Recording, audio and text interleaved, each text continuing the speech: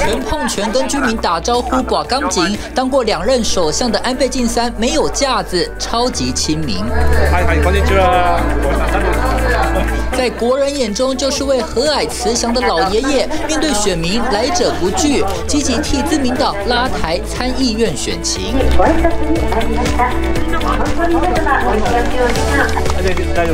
身为自民党最大派系亲和会会长，再加上前首相光环加持，当然是党内最佳助选员。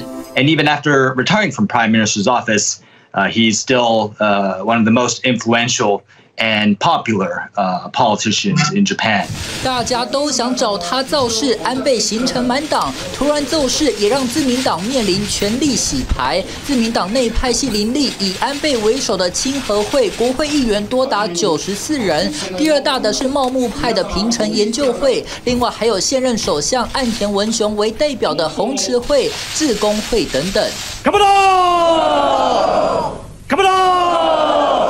去清河会由八人小组组长、会长安倍晋三，包括两名会长代理、副会长、事务总长等等。为了避免陷入群龙无首的窘境，其他七人成立协议机制，用集体领导的方式运作。由七人当中最年长及众议员当选次数最多的岩谷利担任代表。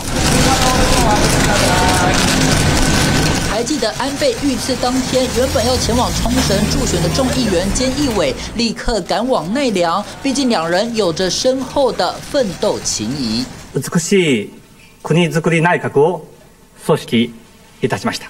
两千零六年九月，安倍晋三首次当选首相，菅义伟就被任命为总务大臣。后来，当安倍二度任首相时，菅义伟被任命为内阁官房长官，这一座就长达七年八个月，号称最强副手。后来也顺利接班安倍当首相。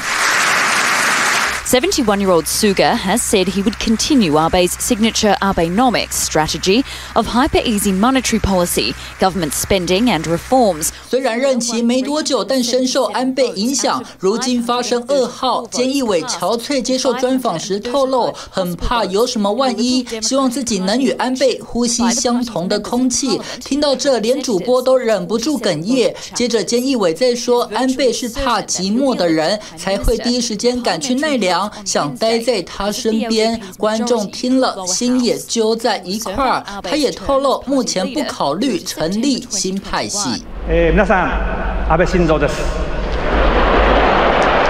卒業する皆さん、おめでとうございます。随着安倍晋三逝世，他今年最后的演讲画面也被翻出来，不少日本网友边哭边看。その後、自民党総裁選挙でなんとか勝利をし。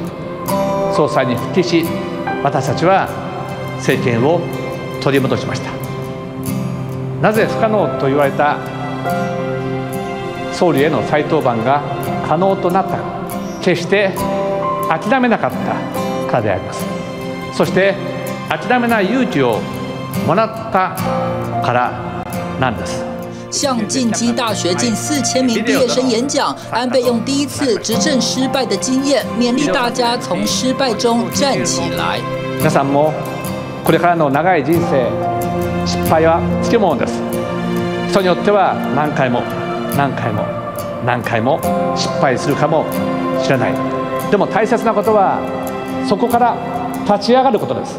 不少日本网友被这一席话深深感动，影片观看次数已经破两百一十五万。安倍励志又安抚人们的力量，将继续活在国民心中。TVBS 新闻综合报道，请支持 TVBS 国际 Plus 全新频道，让您扩大视野，掌握趋势，接轨全世界。赶紧订阅，开启小铃铛。